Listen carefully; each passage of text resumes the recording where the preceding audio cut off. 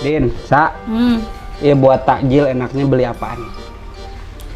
Hmm, gimana kalau kita beli gorengan aja? Soalnya kan di depan ada tukang gorengan langganan aku. Rasanya teh meni enak pisan. Jangan gorengan mulu, bosen. Udah aja beli nasi padang. Nasi pakai rendang, tambah sambal, tambah kuah, terus pakai perkedel. Uh, nah. Ih, udah ah, beli gorengan aja. Gorengan juga kalau anget mah tuh udah enak. Udah, udah, udah. Jangan nasi padang, jangan gorengan. Mending bakso. Assalamualaikum. Waalaikumsalam. Apa ini ribut-ribut, Memet, Udin, Sasa? Ini Pak Ustadz, si Udin sama si Sasa rebutan buat menu buka puasa. Ih, Pak Ustadz ini si Memetnya gerak. Iya masa Pak Ustadz si Memet buka puasa pakai bakso Pak Ustadz? Ya sudah sudah, jangan ribut. Untuk kita nih yang tepat berbuka itu dengan yang manis-manis. Mengapa harus dengan yang manis-manis? Sejarahnya ketika itu Rasulullah setiap berpuasa ketika hendak berbuka sebelum sholat maghrib Rasulullah berbukanya dengan satu buah kurma muda jika tidak ada kurma muda Rasulullah berbuka dengan kurma tua Nah, jika tidak ada kurma tua, Rasulullah berbuka dengan segelas air. Nah, para ulama kita, ulama Nusantara khususnya, mengkias kurma itu karena kurma itu kan manis.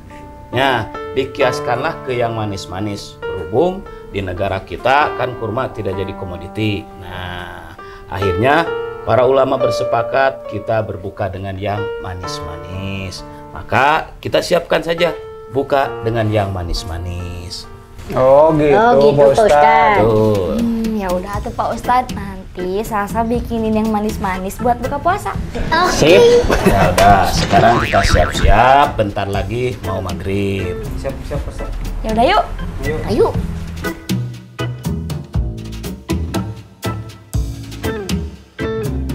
Assalamualaikum. Ayo, siap-siap. puasa nih. Nih suara adan. Alhamdulillah sudah saatnya berbuka. Yuk kita berdoa dulu ya.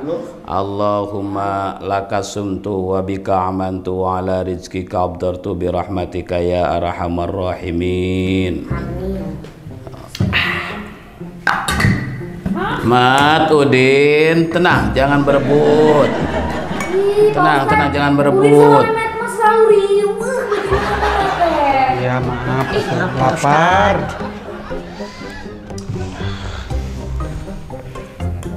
Nih, gorengannya. Ini Pak Ustadz ini kepayunannya, biar lapar. Hmm, manis. Gimana? Saya ini teh kenapa buat semuanya manis nih teh? Iya ini juga nasi. Kok ada gulanya? Kok jadi pada manis semua begini, Sa? Pak Ustadz mah pasti lupa ya. Tadi kan kata Pak Ustadz, berbukalah dengan yang manis-manis. Ya udah Sasa semuanya tambahin gula. Hmm, begini sa, berarti Sasa salah tanggap lagi saya sama seperti memetan Udin. Maksudnya berbuka dan dengan yang manis-manis itu bukan berarti segala makanan dikasih gula.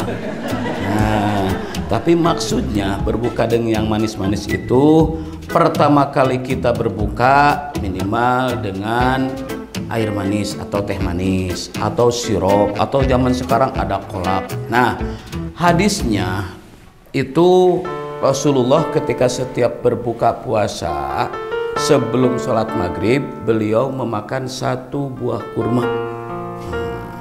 Nah, sunahnya ketika kita berpuasa itu buka pertama itu dengan kurma. Kemudian sholat baru nih makan seperti ini ya. Gimana paham sah? Oh gitu, ya udah Pak Ustadz saya minta maaf ya. Ya, ya, ya. Gini aja, ini kan nggak bener nih manisnya. Sebentar. Ah, mantap nih, mantap ya. Nah, ini yang manis paling bener buat buka puasa. Wah, ah,